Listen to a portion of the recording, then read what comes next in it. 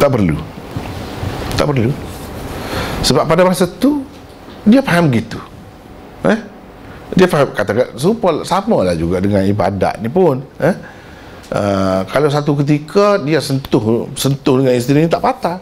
Bila tak patah, susahlah semayang. Salat dia. Lepas tu dia berpendapat pula, eh, ini patah. Ha, macam mana yang lepas? Kena qadar pula. Ha, sama lah. Tak perlu lah. Sebab ketika dia buat dulu, dia ada pegangan juga kan. Yang penting ada pegangan. Jangan tak tahu apa, tak boleh. Uh, asalkan ada pegangan. Kalau ada pegangan, insya-Allah tak apa. Uh, cuma boleh ditampung dengan apa? Dengan dengan yang lain-lain lah, dengan infak-infak yang lain itu. Kita kira begitu. Tampung dengan yang tu. Nak kata kena qada tak? Tak perlu.